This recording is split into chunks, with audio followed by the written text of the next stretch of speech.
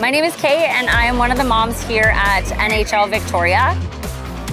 So far, it's been an amazing experience. The last four weeks have flown by. I'm So excited for it to come back to Victoria. I highly recommend it for any family. It's an affordable way to get kids into team sports, and I don't think that you can replace the experience of it.